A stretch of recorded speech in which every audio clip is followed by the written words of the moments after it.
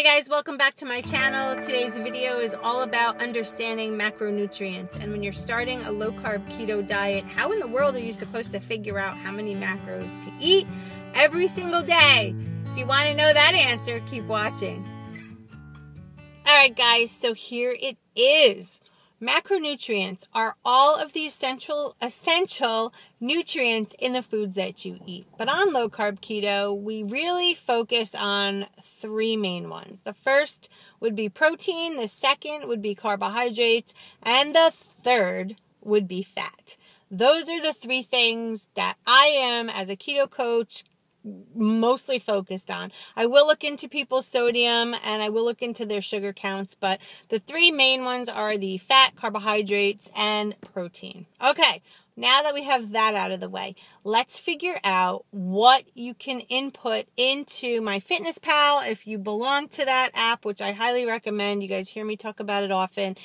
It's very important to track the food that you put in your mouth every single day. And the, the reason is twofold. One, it keeps you accountable. If you're tracking your food, just like on many other weight loss plans, you know what you intake. And you know if you don't lose some weight that week, it probably is because you overdid it. If you don't track, you can lose count of what you're eating. And most people that need to lose weight or desire to lose weight, uh, really do well when they track. So instead of writing it down on a piece of paper and all that other stuff, we move forward to the year 2015 and we input it in our technology, i.e., phone, iPad, computer, whatever you have. I love my Fitness Pal. I think it's, it, I would not do as well as I have or do without it. So get yourself a MyFitnessPal account. When you do that, the, these are the percentages that I would like you to input and try to follow. I would like you to dedicate yourself to these numbers for at least a month. And then we can tweak it, okay? What what they are are this. For protein, I want you to input that your protein should be 20% of your daily calories. 20%. Your carbohydrates, I want you to input them at 5%. 5% of your entire daily food intake for carbohydrates should be 5%. And your fat should be, uh, I'm going to say between, I'm going to say 75% because I gave you 20 and 5. So, yes, yeah, 75% for fat. All right, once you put that into my fitness pal, it does ask you how many calories you would like. Guys, I don't want you focusing on calories early on in the beginning. You have to get yourself adapted. And when I say adapted, I mean you have to get your body into fat burning mode. Switch it over because right now, if you're not following keto or low carb, your body is using glucose for its energy. And we want your body to deplete itself of glucose and we want your body to understand that the fat you're eating and the fat on your body is what it needs to use for the for the fuel of every day. Until that switch happens which could take several weeks to a few months depending on you uh, I don't want you to focus so much on the calorie count because when you are ingesting high fat foods, guys, your calories are going to be more than uh, just a carbohydrate type food. You're you're in essence trying to get 75% of your daily intake from fat. Good fat, not junk fat. Good fat. Olives, coconut oil, olive oil, avocado oil, butter, all of those good fats. You can get good fats from animal protein. I also have a question. I forget who asked me, so I apologize that I'm not mentioning your name, but um, they were having a conversation with a bunch of people in regards to keto and people thinking that it's such a horrible way of life because you're eating all this fat and everything else. Um, the question was regarding a ribeye steak. They were wondering how they input that. Do they input that under protein? Do they input that under fat?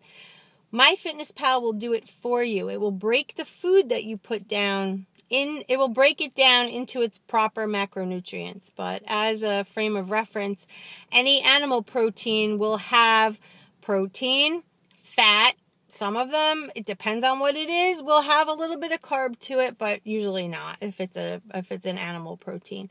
Um, so I'm hoping this makes sense to you. In the very beginning, some of you will complain of a headache and fatigue, and um, that would be considered a keto flu. I want you guys to keep your sodium at three grams per day.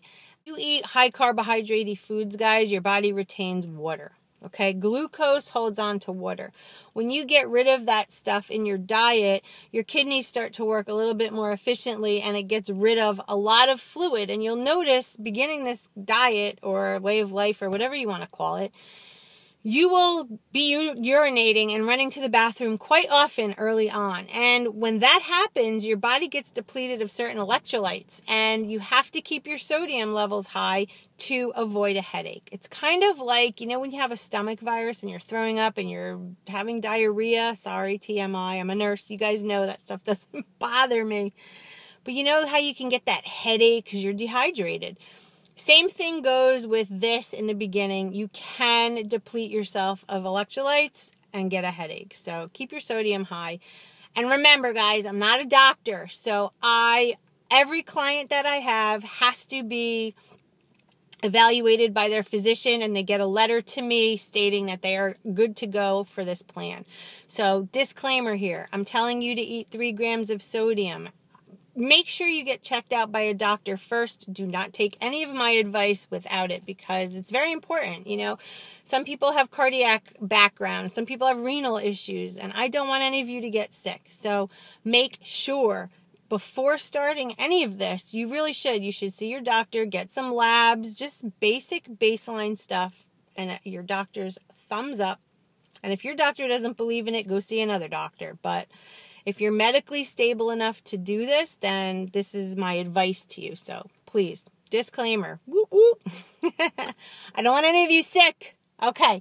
So um, I hope this is helping you. Um, again, protein 20%, carbs 5%, fat 75% of your daily intake. Keep your sodium in the beginning at 3 grams. 3 grams every day and make sure you drink a lot of water so your kidneys are getting what they need to flush and um, to get the ketones going and moving and everything. You need to drink your water. Not crazy because you don't want to be dehydrated from urinating all the time. Just enough water. Eight glasses a day, guys. Eight to ten. That's all I ask. You don't have to drink half your body weight in water. In fact, that works against you. Don't do it. It's too much water um, unless your doctor tells you so. I hope this video helped you understand macros a little bit and understand where to set them. And as you progress, if you see you're not losing, tweak them. If you see you're losing too fast, tweak them. This is just a starting point, okay? Hope that helps you guys. If you have any questions, as always, leave them down below and I will be happy to answer any questions you have. And until my next video, I will see you soon. Bye, guys.